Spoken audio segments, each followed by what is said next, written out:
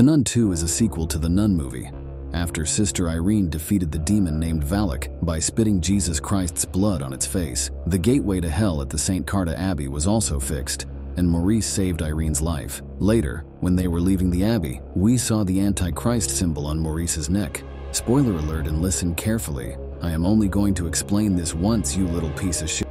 The story starts with a boy Jacques running towards a church. The father ordered the boy to bring the wine flask from basement. After assisting the father in performing Catholic rituals, the boy went back in basement to put where the flask was and noticed something strange in the shadows. The wine flask shattered, and the boy ran upstairs to inform the father. They heard some noises from church and went to look. They noticed that the holy water is boiling to the point where it's completely evaporated. A nun figure is then revealed in the shadows. Father's bone shatters, and he is lit on fire as the nun opened its eyes. We then see a man walking away an alley, casting the nun's shadow on the church. Sister Irene has moved to a new church where she met another sister named Deborah. She questioned her belief and faith, and they both shared their stories. Irene was separated from her mother at a very young age and then was sent to church. Something similar happened to Deborah when she lost her mother. Her father sent her to church to serve God. Later, one of the sisters is telling the story of St. Carta's Abbey, how the Duke had invoked a demon by creating a passage from hell, and that a sister defeated the demon using the ancient relic, the blood of Jesus Christ. Irene is listening and is quite terrified as she was the one who fought the demon. It did leave a bad experience on her.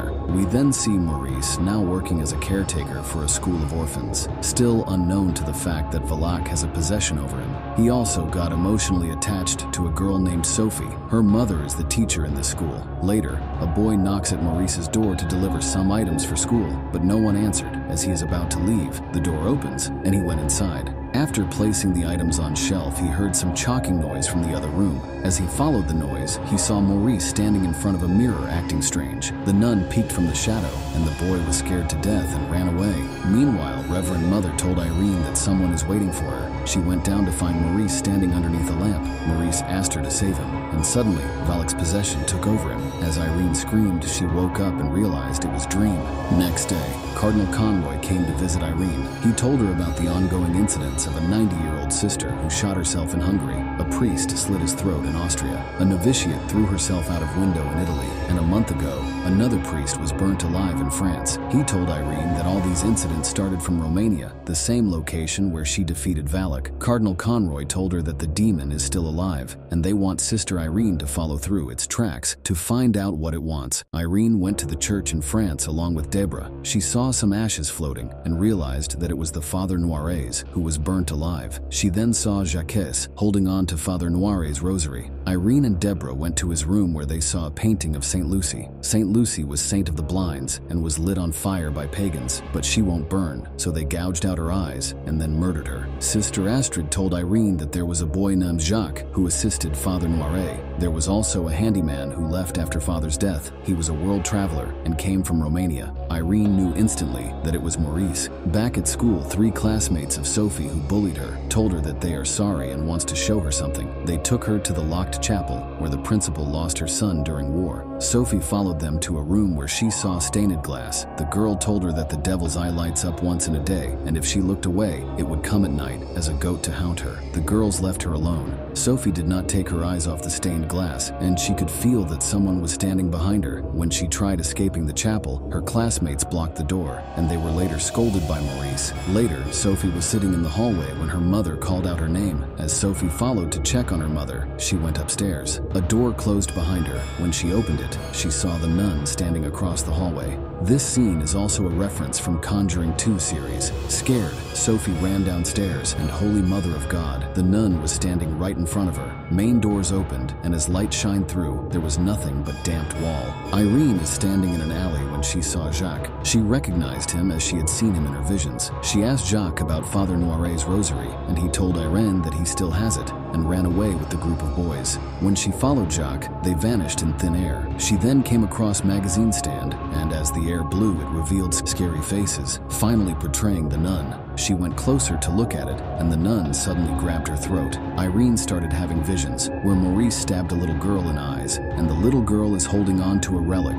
The little girl's eyes glowed. Irene fainted and was later found by Deborah. Next day, a doctor examined Irene and he told Deborah that she is fine. Irene woke up and shared her dream with Deborah. The demon wants to get his hands on an ancient relic and he is using Maurice for it. Maurice might not know it yet, but he is possessed. Deborah gave Father Noiret's rosary to Irene and told her that Jacques came by and left it. It had a symbol that Irene had seen before but couldn't place it. They saw similar symbols in the pictures of dead priests. Irene and Deborah went to the Catholic archives, where Irene knew a librarian who could help them. The librarian told Irene that the symbol on that rosary is a family crest, the family of St. Lucy. When pagans killed St. Lucy, her family escaped and has been taking care of her eyes, which is now a holy relic of great power. Irene realized that the demon is after this relic. Librarian said that this demon was once an angel and was cast out by God, and he was also there when St. Lucy was murdered. He has been chasing after the family ever since, killing them one by one. Librarian told them that this relic was given to a monk in St. Mary's Monastery, which has now turned into a school for orphans. Irene and Deborah then rushed towards the location. Principal Laurent heard some noises, and when she went outside to check, she found Maurice standing in front of the chapel. When Laurent called out to him, he came back to his senses and left the premises. As Laurent is about to leave, she heard her dead son's voice inside chapel. She unlocked it and went inside. She saw glimpses of her son, and when he was finally revealed, Valak had taken over his soul and started attacking Laurent. A metal hook fell on her, taking her life. Next day, the teacher discovered her body,